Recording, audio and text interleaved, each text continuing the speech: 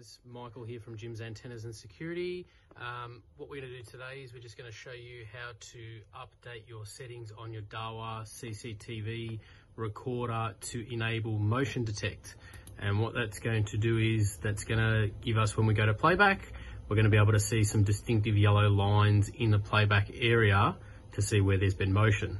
So what we're going to do is we're going to right click, go to main menu, going to go over to alarm, and where it says video detection, which is what we're on now, top sub menu motion detect, we're going to select our channel, so channel 5, and we're going to enable that. It was already enabled, but we're going to re-enable that, and we're going to make sure that they're all enabled on all the channels that you want to select. You go down to the bottom, hit apply, you go back now, and now we're going to set up our storage to make sure that we are our schedule is on motion detect. So as you can see, pre-populated earlier on on on some of the channels there. We've got regular recording, and then underneath it in yellow we've got motion detect. So if we go to camera five now, I haven't set that one up yet for motion. So what we'll do is we're going to select motion there.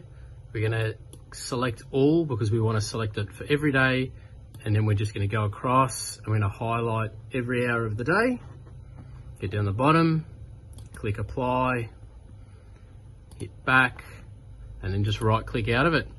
And that guys is how you set up your motion detect so that when you go back into your main menu on your playback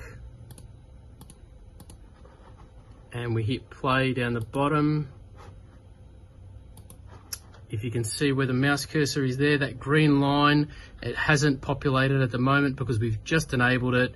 But what that will do is that will give us little yellow snippets at the bottom and we'll be able to select when there has been motion active through the image.